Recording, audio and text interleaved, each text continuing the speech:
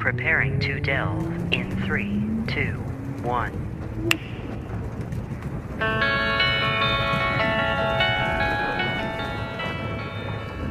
Hello, everybody, and welcome to Delve. My name is Nathan. And I'm Alex. And, uh, Alex, I don't know if you remember this, but uh, way back when, way in the long, long ago, we did an episode. It was episode two, which, Oh, well, well, in the before times. yes, uh, episode two, which we now usually want to refer to as episode one. but, uh, uh, but in ep- episode two, very famously, was the Well, That's Not Right episode. You probably remember this. I vaguely remember it being a thing that went horribly awry. Uh, it was it was six years ago, so I don't blame you for not remembering it in detail. Neither do I.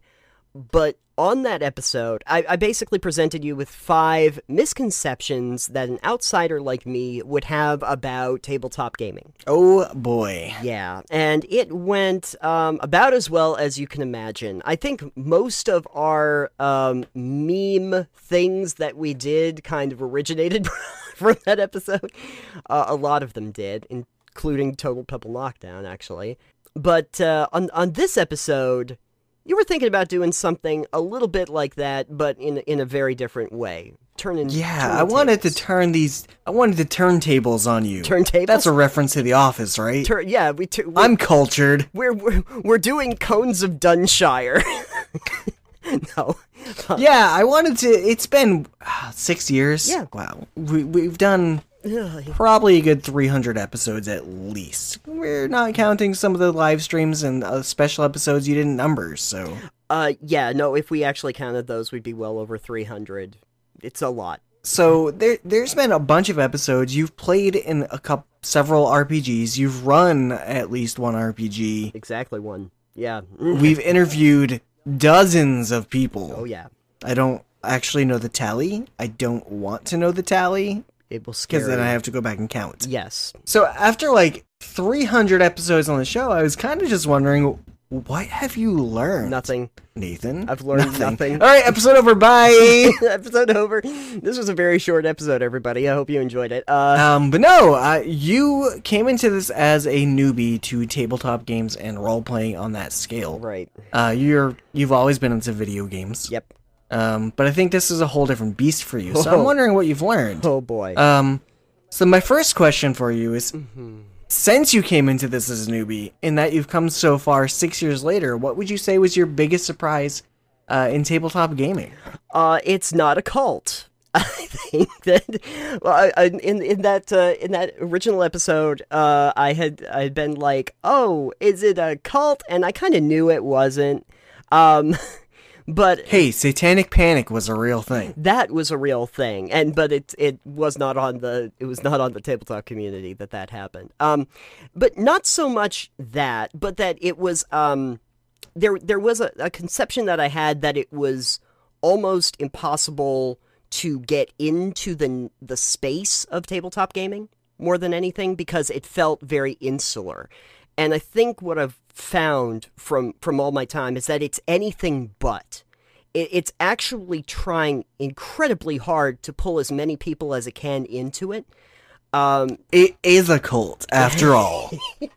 maybe it is a, no but but the idea that it actually it encourages people to actually uh, join into that it is not so difficult to integrate into you know i would look at mostly like the mechanics end of things i would see so many different layers to it that i had to try and figure out and it was intimidating in a lot of ways to try and start that process and through the last six years, I've realized, well, no, actually, it's not intimidating.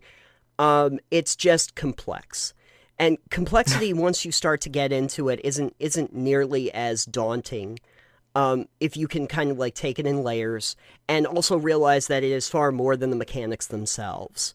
When I started to actually play in games and all of that, I realized, oh no, there's th- you can actually frame this in the way that it is a storytelling device. It's almost a, a mechanism for people to be able to do group storytelling in a way it's the same sort of thing that the old oral tradition of storytelling from like the Homeric era tried to accomplish.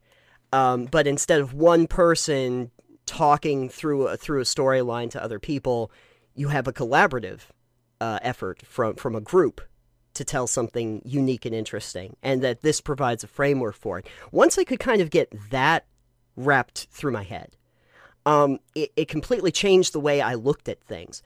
And from hearing stories from people who found that it actually helped them, especially if they have social anxiety, um, if, if they if they have trouble interacting with people, and how they've been able to benefit from it, um, all the people that found their calling, their their you know passion in it, uh, I realized no, it's not just it, it's not just an insular thing that tries to exclude people. It's actually the complete opposite of it. I think that's probably the the biggest surprise that I had from it is that it's it's actually a modern version of how we tell and create and craft stories.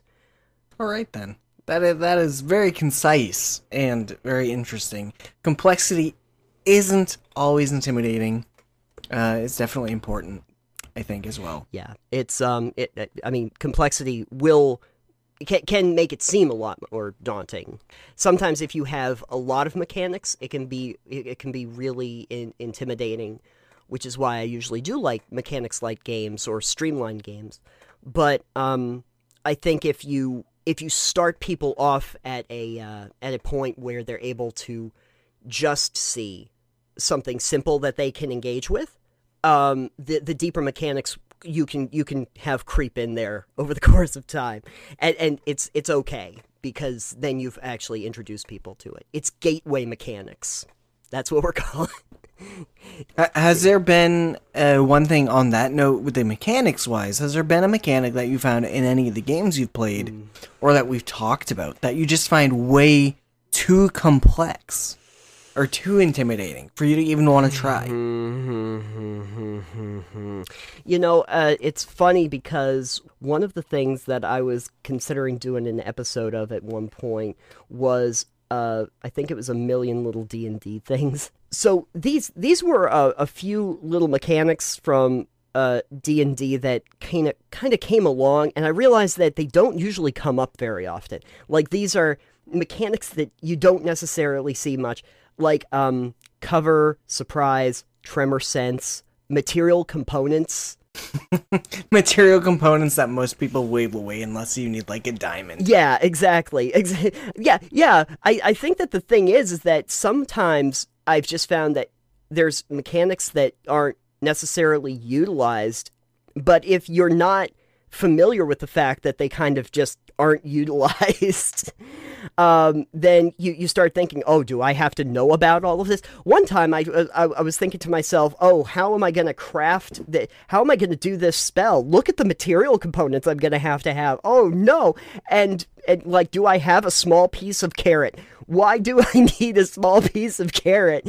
And, um, and, and the, uh, the answer really came back is, um, well, one, we, we'd assume that, you know, you'd pretty much have any of those little things that you'd need, and and also, um, you're you're a monk, so uh, yeah, the the ki handles all of the you you don't need mecha- material components. I'm like, well, that would have been nice to know before I sweat that I could do a thing.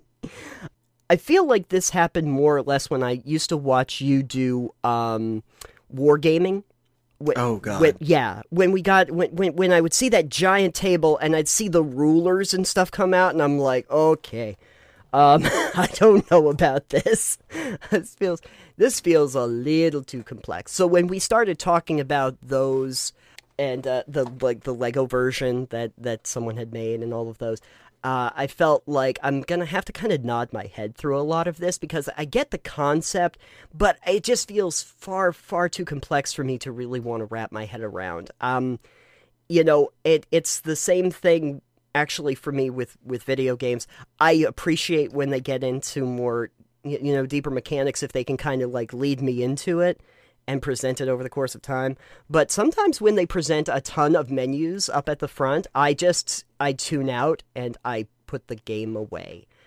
It's just it's not necessarily that any mechanics are too complex for you to wrap your head around. It's that if it's presented all to you at the very beginning, I don't know what to do with that. Like I, I can't I can't assume like when I'm talking about the the D and D stuff, if you presented material components at the same time you presented my stat block, I'd assume both of those are equally important and I had to figure out both of them at the same time. You of course wouldn't do that. That would be a terrible idea. Don't don't do that, folks. don't try Don't do that. Don't try to tell explain to them challenge ratings and and how sight and sound work at the same time as you're trying to explain that they have skills. It's just a it's just a bad idea. you're, going to overwhelm people um, because they haven't grasped the, the very basic mechanics of, of your game. Um, I think that is definitely one thing uh, that video games tend to do a lot better at than tabletop games. In most cases, I want to say, uh, video games are able to present you in a here's how to play step by step better and more fluidly than than tabletop. But I think that's more so because you can design a tutorial in a video game that is disguised as gameplay um, without making like bashing you over the head with everything. Right, and that um I mean you can do that kind of in tabletop if the but really only if the GM is is able to kind of give that kind of tutorial and a lot of times like with new players you just kind of assume that they'll eventually catch on to it. But the other thing worth considering Alex is that in video games most of the mechanics are hidden. They're they're in the code. They're, they're That's also true. they're locked away. In a tabletop game, all your mechanics are laid out in front of you, and it is up to the players and to the person running to figure it out and to, to work Right. with it. You're the I think something that would be Yeah. I, th- I think something that would be really fun for tabletop role playing games uh, to go and do uh, once in a while would be if you're designing a new system and you're trying to get people into it, um, designing those like starter scenarios Mm-hmm. where it pulls you through a segment of different tasks that you have to get through so you see how different mechanics work. Depending what your theme is, depending what you want to do, it's like, all right, you go through some social, some combat, some skill check sections.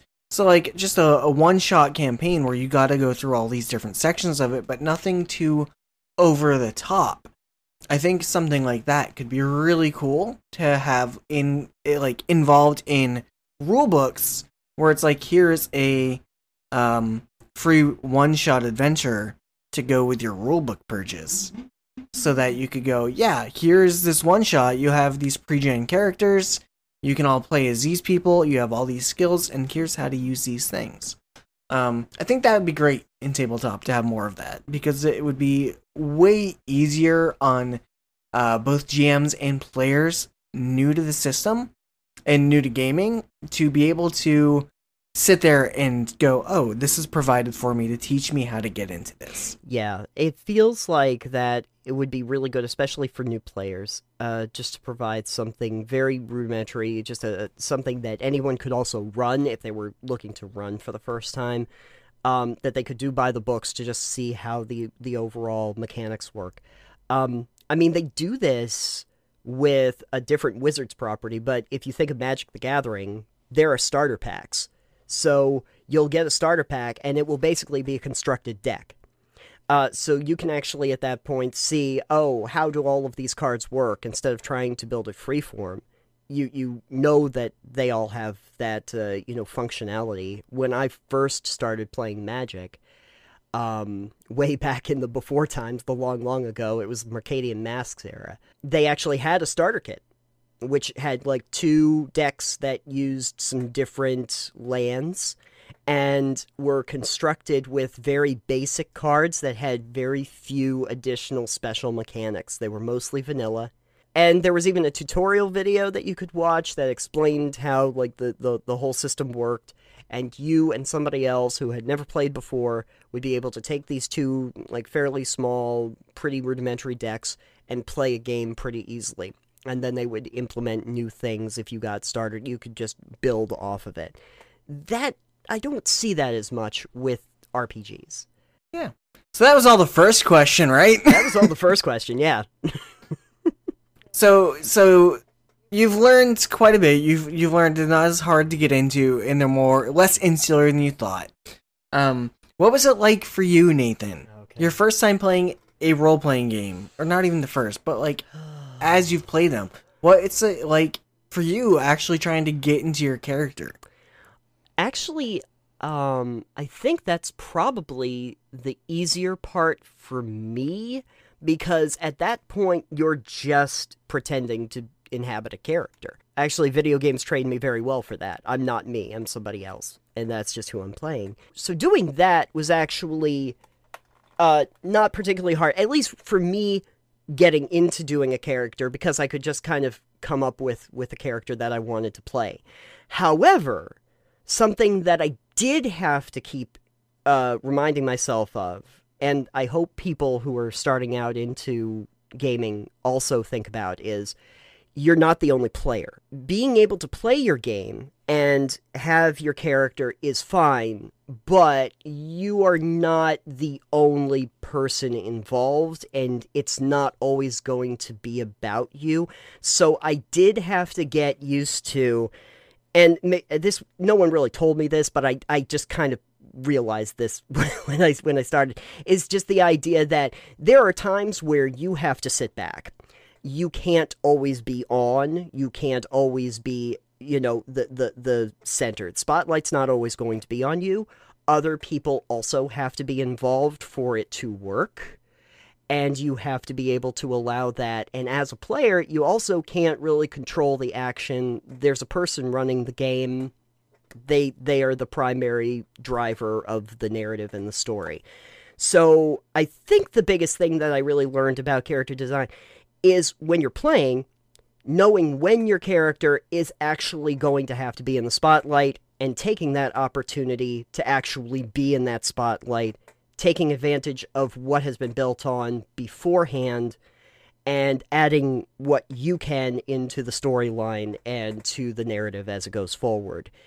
I don't know how often that gets described to new players. I I think especially in your case, I feel like that was definitely something you had to learn. Mm, Um, because I know how much you really enjoy being on uh, yeah. when you're when you're doing things. And I, I know from hearing all your stories, like, oh yeah, this is all the stuff I did. I'm like, cool, but what about the other players? what did they do, Nathan? I don't know. I don't know what they did. they, they they were doing something else cool. It was really neat. Yeah, I'm sure. They did. No, they, they, they did they did cool stuff and I tried to listen. Um I'm trying to get better at that obviously, you know, so that I can keep track of what everybody else is doing.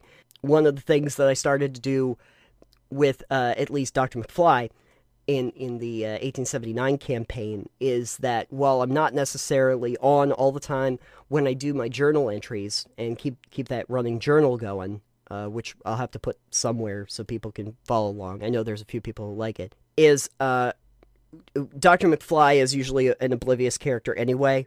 Doesn't really care all that much about even the other people in his party. and so when he starts referring to what they did, he can't remember any of their names. So he has to use the anything that he actually knows about them.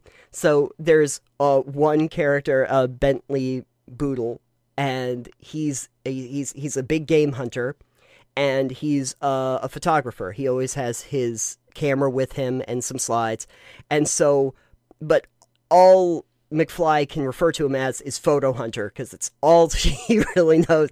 Does not know that he's a lord. Doesn't know he came from an aristocracy. Doesn't really think too much about that. I know that you're a hunter and you like photos.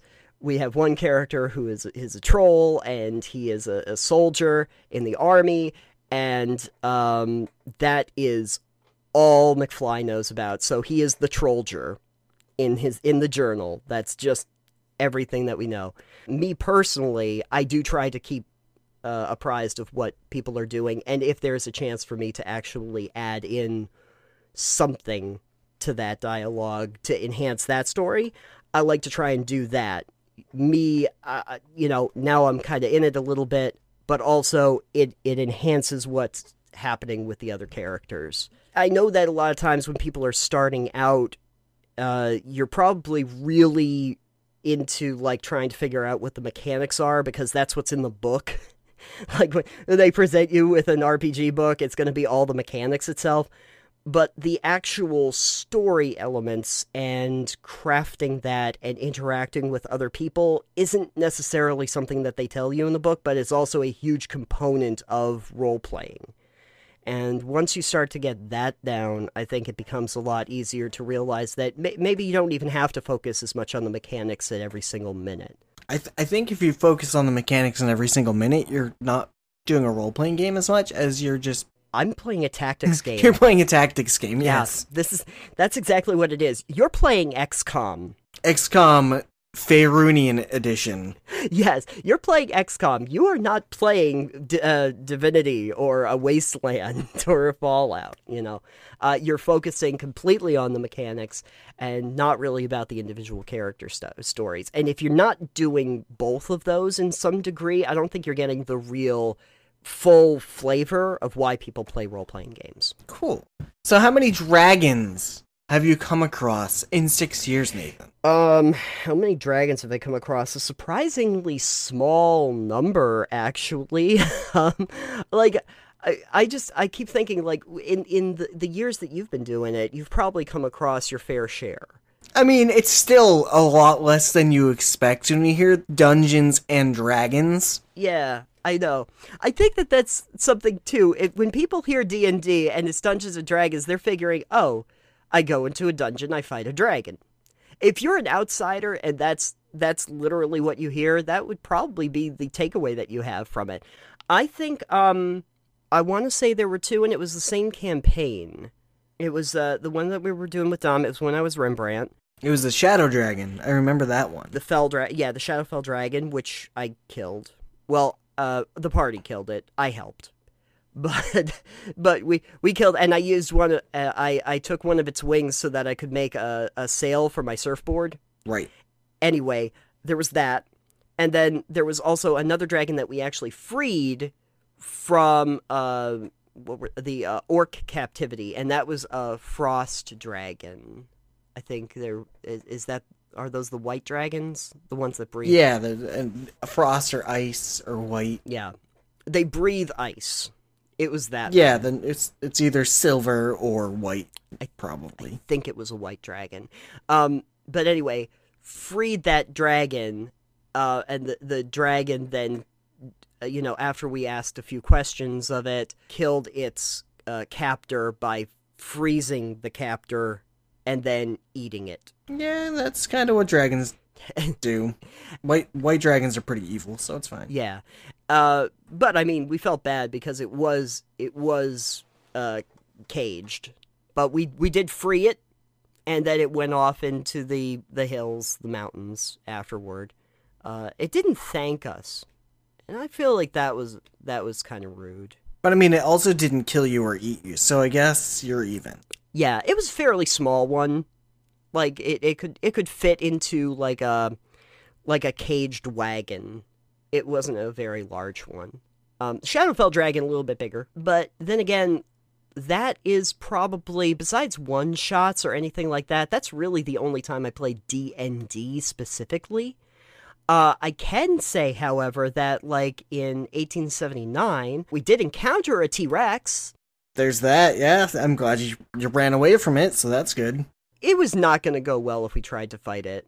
Um, no. Yeah. Was it just a single T Rex? I heard they're mm, pack hunters. This one was just one, but then you have to remember in the lore of 1879, they're not necessarily dinosaurs like we had here, because these are creatures that would have been coming through the rift in space, essentially.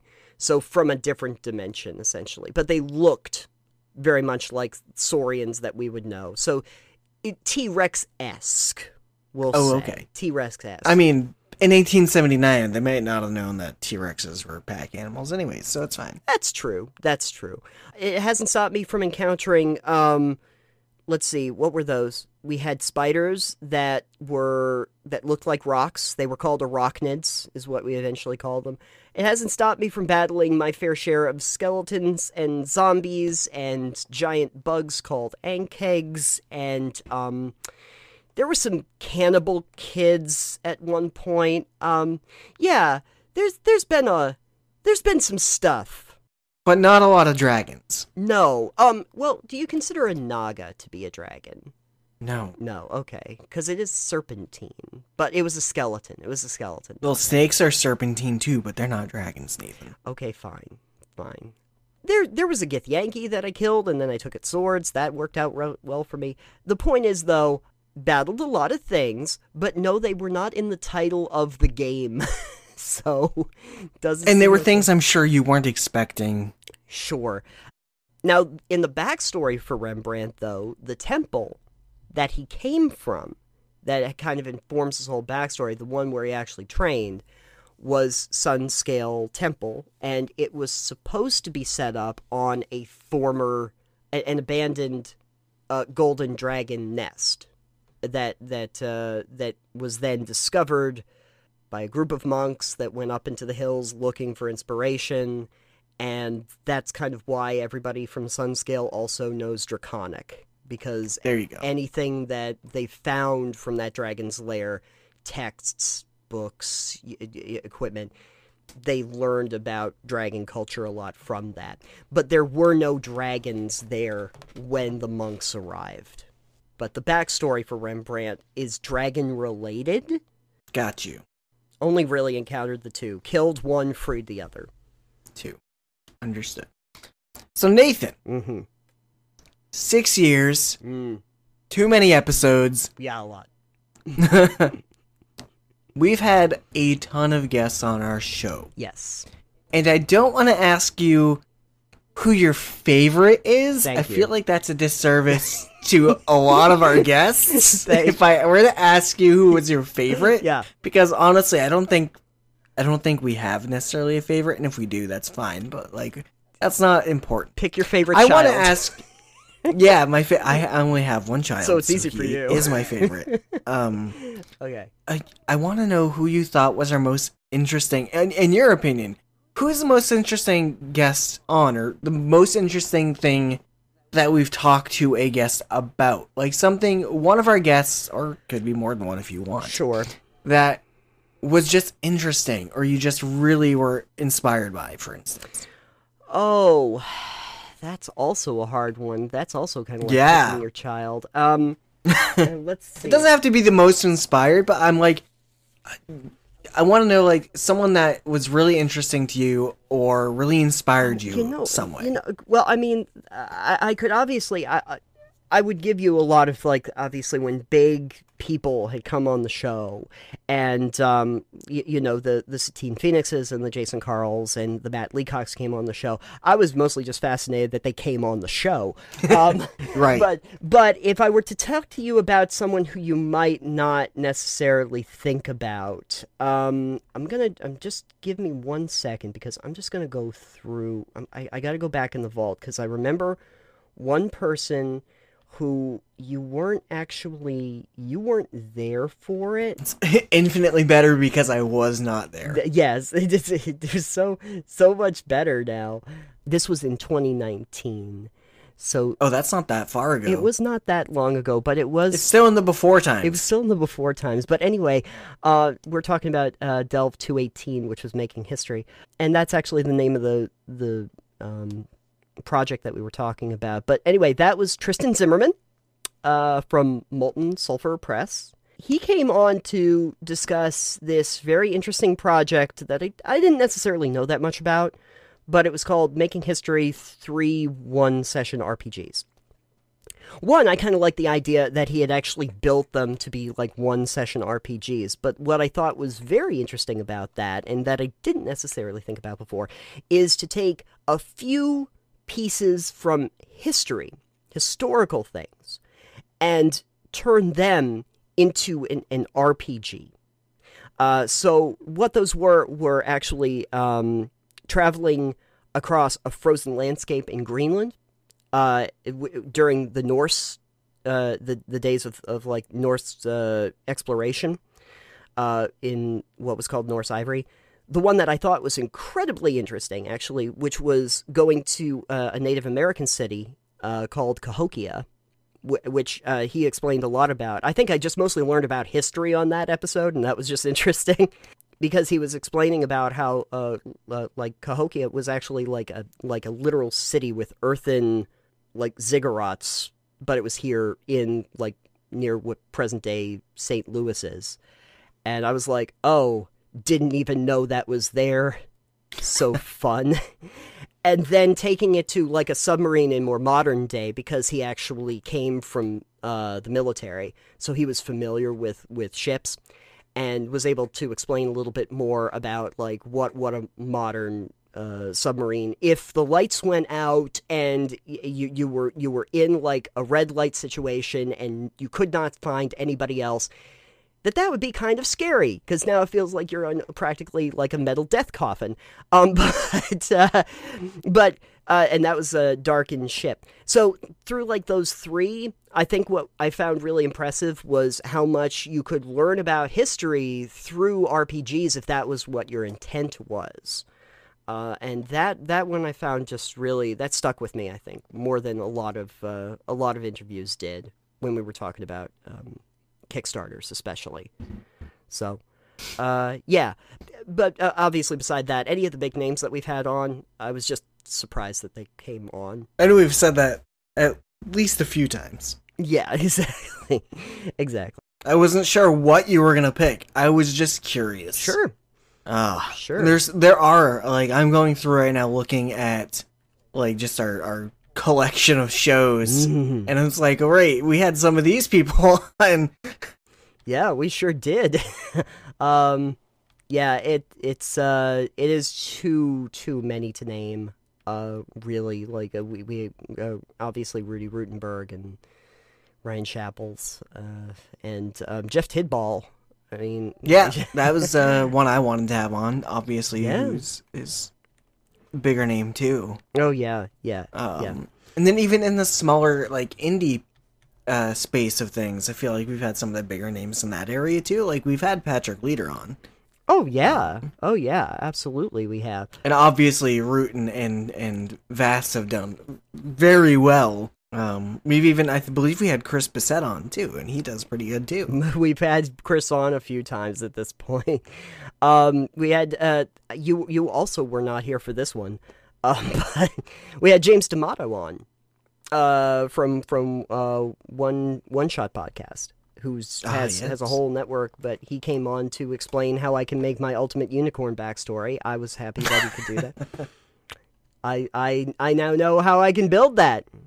So that's that's fun. I learned something. You know, I I am hoping with the new show yeah. That our guests are going to vary from just uh, people making games, Mhm. which is mostly what they have been for the last six years Yes. of anyone we've had on Delve, Sure. and just more people en- engrossed in the gaming space. Sure. Yeah. Uh, and just uh, like I would love to have more people that have their own podcasts on. Yep. Um, just talk about gaming, talk about games, making games, playing games, and like some of the other content that we don't do is not even game related, but like, hey, you're in the gaming space, but tell me something that's not a game that you absolutely love doing. Yeah. Tell me something I don't know. Yeah, it's like you tell everyone this stuff all the time. Like I know with Chris Bissette, for instance, Mm-hmm. um, lots of game stuff, but he also does music. He's a musician. Oh, yes, he is. like if you want if we want to get chris on if he's listening chris we'd love to have you come on and talk to us about music What's it like being a rock star while you're at it? um, i know uh, one of my friends i want to uh, see if he'll come on the show he's a, a twitch streamer Mm. um, but he's also a dj Oh, like yeah. he does music stuff Yeah, yeah, yeah. so like i want to get him on and be like so i know you do all this stuff on twitch but I know from knowing you personally that you're also a dj but like there's a whole ton of stuff that you're into like we can deep dive about music we can talk about games Mm-hmm. you know it's all, whatever i just love that uh, with ending this show i love the opportunities we're gonna have moving forward Oh, sure.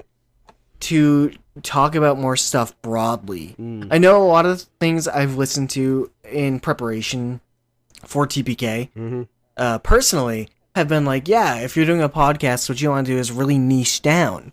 Yeah, yeah. And I agree with that to a point. Like, it's definitely a lot easier to get into that niche Sure. of just saying like just a D&D podcast, oh yeah, you know. yeah. But then it's I I feel like that's limiting then Mm-hmm.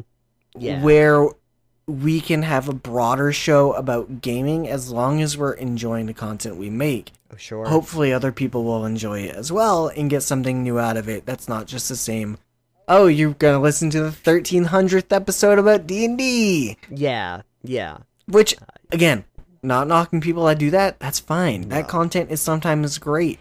I mean, let's face it. D and D is the 800 pound gorilla of tabletop gaming. You're probably going to talk about it if you're talking about gaming.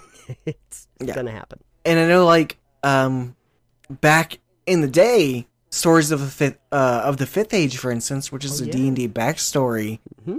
Uh, for that, that was like there's no more backstories to really go into without going into homebrew in the extended universe. Mm-hmm. Mm-hmm. So it's like, all right, well, it's just I, I like the opportunity that we're gonna have to talk to other people, Oh yeah. especially between tabletop and video games. Oh yeah. Yeah. Um, really really gaming as a general concept because i know that even outside of like tabletop and uh, uh, d- digital um like you you get very interested in things like uh like the the arpg kind of stuff um and there's there's a lot of different realms of things that you may consider to be gaming in some way uh, that we just didn't talk about or didn't even entertain really on Delve. And I Yeah. think that being able to, you know, do that a little bit more is just more interesting. Um, there's there's so much in the scope of it, and we um, if you look at the trajectory of Delve, um, you know, we we started out very niche, but really we, we we did expand and the scope of what we were talking about over the last six years because we stopped having a lot that we could talk about directly about that, about that very niche subject. Um, as much as I do love talking game mechanics and game design, and I will I will gladly talk to designers all day. It's just so interesting, especially like talking about different projects. That is still fun, mhm. but like there's so much more too. Oh yeah, there certainly is. Um, you can you can look at so many different realms of gaming and what that means. Um, there's there's so many people too that as I start to build up essentially the new wish list for people to be on the show, I know I know of people that are, you know, psychologists who are in gaming and see it as actually very therapeutic for a lot of people who uh, do have like like I was mentioning earlier social anxiety and stuff like that. There are game historians that will be able to tell you about games that have been lost to the ages that were around thousands of years ago that we're only now really uh, aware of that got uncovered almost as archaeology. And there's so many great things, but they're not necessarily specifically mechanics related, but incredibly interesting and very much worth discussing more in detail. Yeah. I think it'll be really interesting and really fun and boy, that that wish list is just going to grow. Mm-hmm. Yeah. Well, my wish list has always been pretty ambitious, and uh, I'll probably keep a lot of those ambitious ones on there. But um, but yeah, I I, I think uh, we're we're gonna expand that a little bit more, and and some of them might actually come on the show. You know, you never know. You never know. Um, but uh, yeah, I forgot what the question was that I was originally answering. Oh, I was asking you who your most interesting person you Oh. thought was on, that we had on the show. Yeah, yeah. Um, me. Definitely not. it was definitely Bing Crosby. It was definitely Bing Crosby. Unfortunately, he will not be back on. For shame. We all Poor- know why. For shame. No, we don't. Nothing happened. Ever. Oh, he- he knows. I want to ask you one more thing, Nathan. Okay. Have you learned anything at all in the last 300 episodes of this podcast? Have I learned anything? anything? Anything. Have you learned anything at all? Doing this podcast, talking to game designers, interviewing them, talking about mechanics, design, aside from just learning how to play like a couple RPGs, have you really learned anything? Or has this just kind of been fun? Well, I mean, you can do both. You could No, learn. you can't, Nathan. could You need to let me. you could learn and you could have fun too. Um, no, no, it, it definitely wasn't fun. So what I'd say is, um, It wasn't fun. That's why we're ending. it definitely wasn't. But I'm kidding. I'm kidding. Um, half kidding. Um, but I learned I learned how much time it takes to put episodes together. no, um, I think Aside from audio editing, what have you? learned? specifically about the gaming part, huh? Yeah, I gotta I gotta be in that realm. Um, I uh learned that bes- that different from the concept that people might have had about um here you'll raise up a level in like uh if if you just do like 30 or 40 hours with this character and uh just a few people sitting around like every single week and just grinding through to to do that it is not really so much about that aspect it's really not about I need to gain these levels so that I'm more powerful because if you came from a video game background, that is a very primary motivator. Uh, I I want to be level two, three, four, five now, and I'm going to get new skills. That's in there, in a lot of them at least. Uh, to some degree, it's in every RPG. But um, but it's not the primary reason why you would want to play. The the stories that you end up telling, uh, the people that you get to interact with, the um, the ability to actually build a story in more of a freeform way, not having those predetermined choice cause and effect sort of things but have have a lot more abstractness in the story that you're telling and to be able to get into territory that is definitely more personal and customizable is the is the reason why people keep coming back to it over and over again. It's not necessarily true of everyone that plays. I'm sure there are some that actually like very regimented rules and guidelines. I probably won't play with you at any time. We're probably in different groups. But a lot of people have found, especially as role playing games have taken more of a mainstream uh, position, especially with streaming, um, that people have started to realize that, that that aspect of it is so much richer and more interesting than just the I got more powerful now and my sword glows, so I, I can defeat all the monsters. Uh, I think that's probably what I learned is that the the reason why you'd want to play a tabletop game is very different than the reason you'd want to play a video game. They're different animals altogether. They might seem like they're related, and there is some crossover, but the mental state that you're in and the way you approach them completely different. Well, if you want to play tabletop games with the social aspect Mm. intact, yeah, they're different. They're definitely different. Mm-hmm, mm-hmm. But you know, if you think about it though, Alex, even in terms of if you were just mechanics heavy on those, like we were saying earlier in the episode, the mechanics in the tabletop version are all laid out in front of you and they need to be interpreted and used by the players themselves and in a video game they are all hidden in code behind the graphics and music you know, it is still a different animal in a lot of ways, and how you interact with the game is going to be very different from one to the other. Now I want to see someone in tabletop try to glitch out the, the mechanics. You know, I I think yeah, I need the spiffing Brit to go to tabletop gaming and explain that like no D&D is perfectly balanced with absolutely no exploits. Obviously, he's on our wish list to come on the show then. He'll come on and he will explain in detail exactly what the glitches are.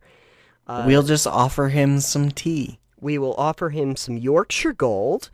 I can go grab that soon. And uh, yeah, he can come on and uh, and explain that more in detail. I would be so very very happy if that happened. I think there's one central problem with the exploitation of a tabletop game is that since you always have somebody running it, the person running it can determine if you get to use that exploit or not. There's the one problem in a video game there is no tech the actual game mechanics are built into the system.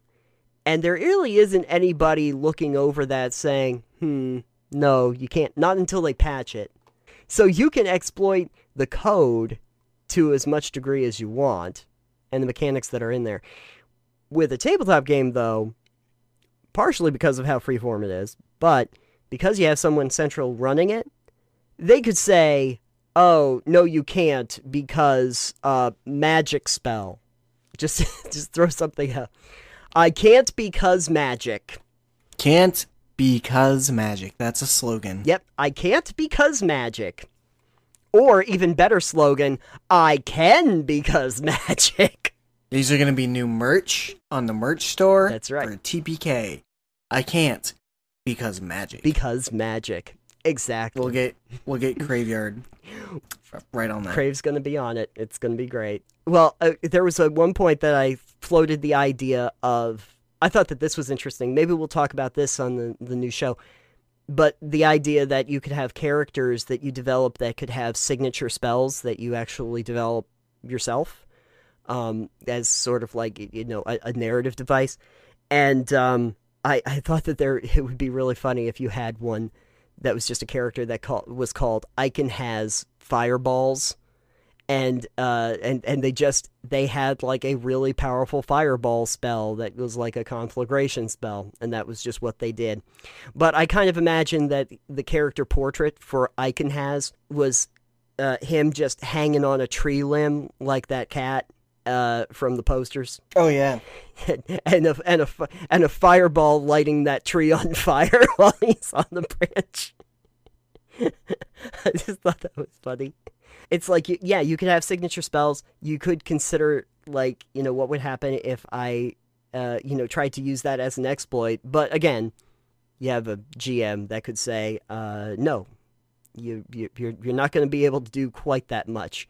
I understand that Rembrandt glows, Nathan, but that doesn't mean that he like illuminates dark spaces without a torch. He he has a soft glow. It's it's it's visible for like five ten feet, let's say. I feel like this is a conversation that happened. This might have been at some point a clarification that a party, a certain party, had to make on, on how much Rembrandt glowed.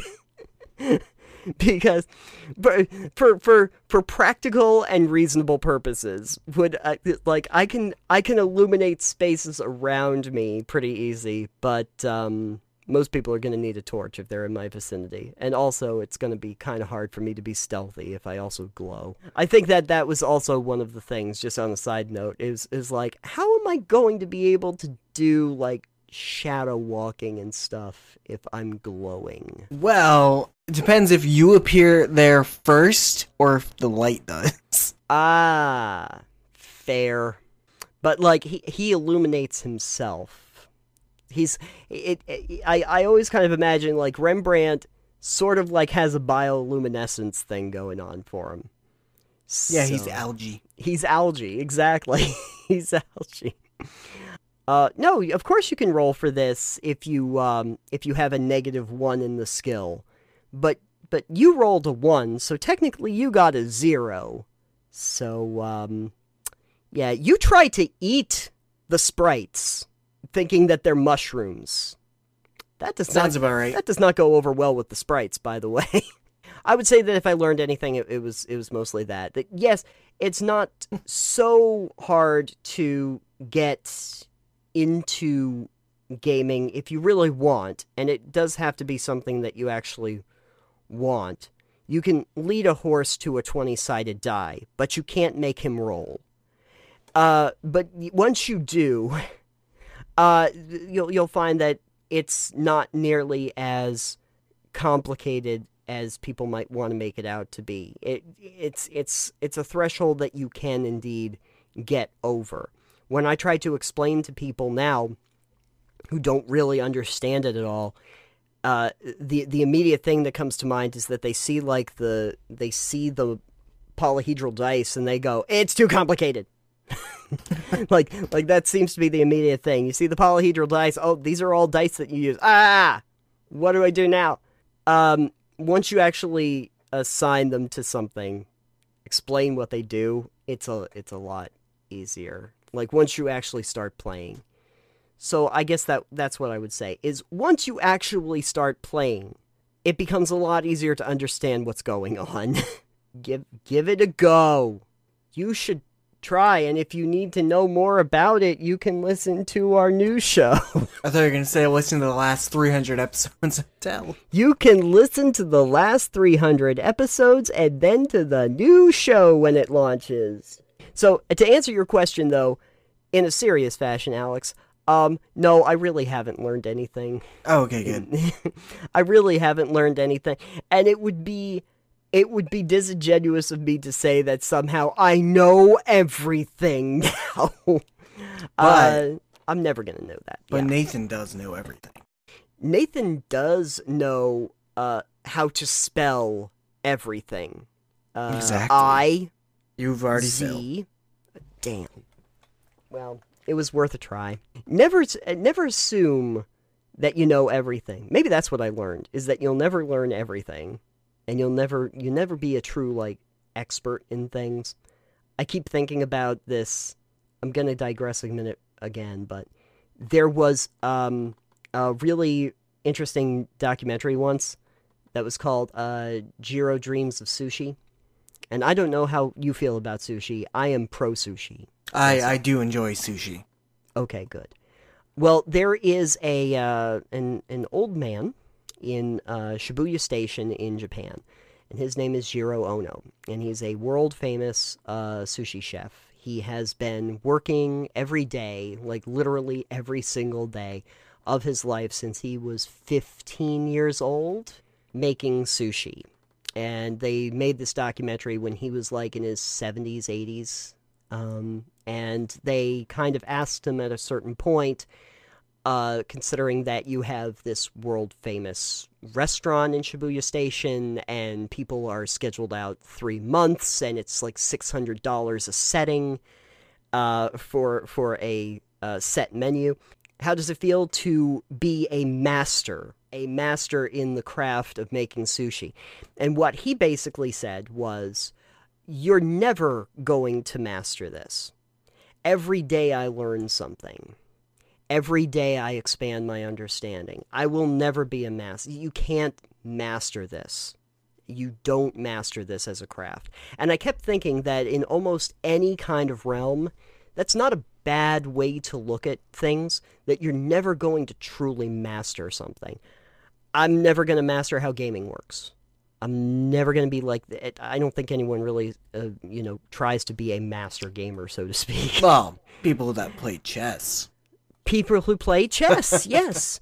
But like, even when uh, I, I was watching like Queen's Gambit, it's one of those things where even master chess players realize that at some point, someone's probably going to beat you, even if you're the greatest in the world.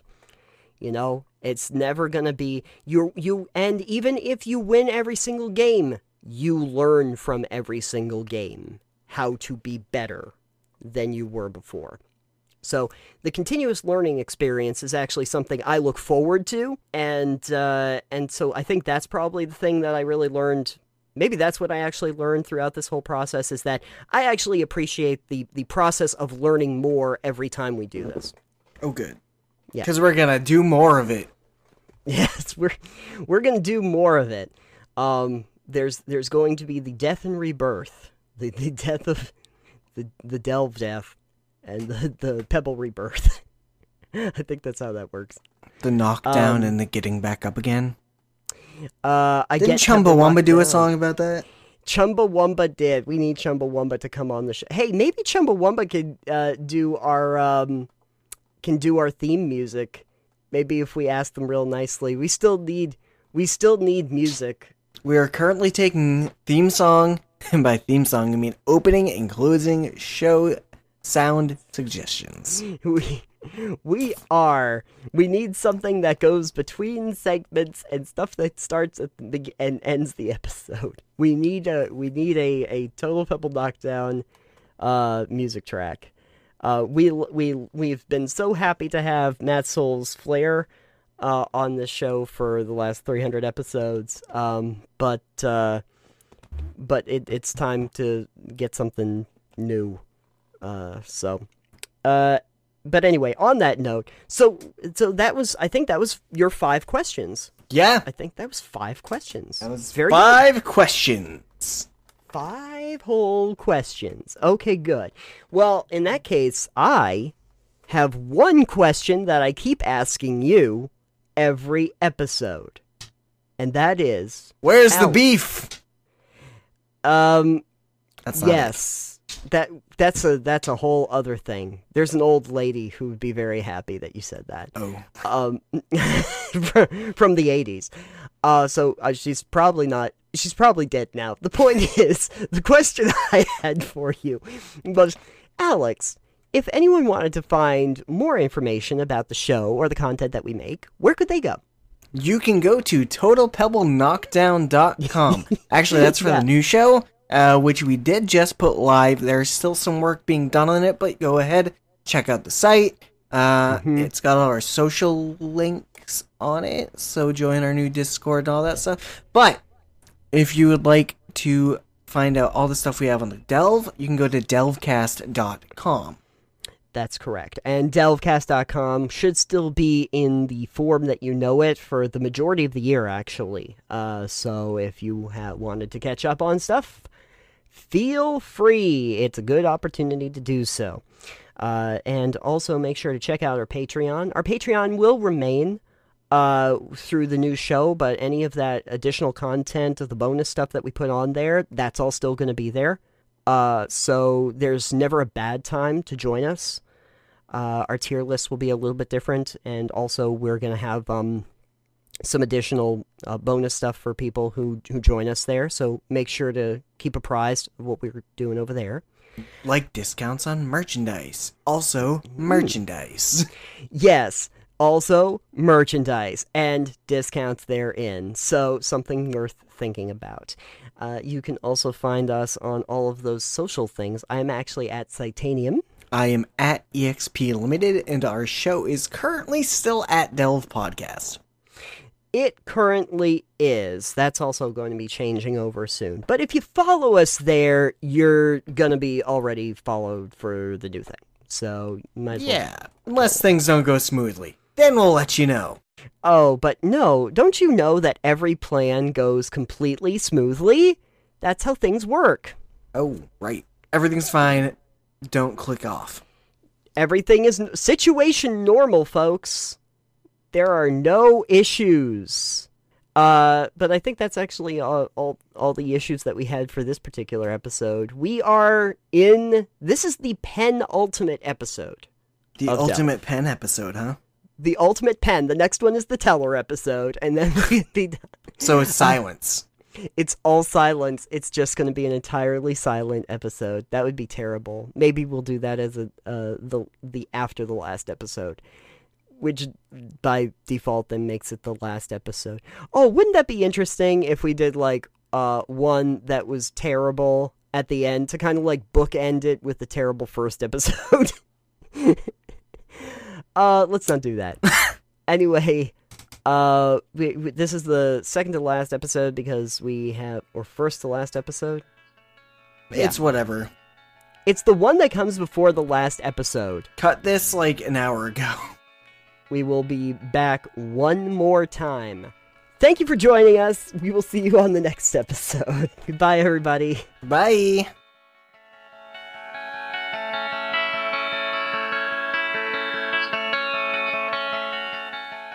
So I kind of wanted to flip this table on you and kind of go, Nathan. Yeah. After 300 episodes on the show, Mm-hmm. can you hear those motorcycles? After 300 years, can I hear those motorcycles? Um, yeah, can you hear? Okay, sorry. yeah, always. I always hear them. No, I meant the ones driving by. Oh, um, no, I, I think I think we're good. I can't hear. okay, d- sorry.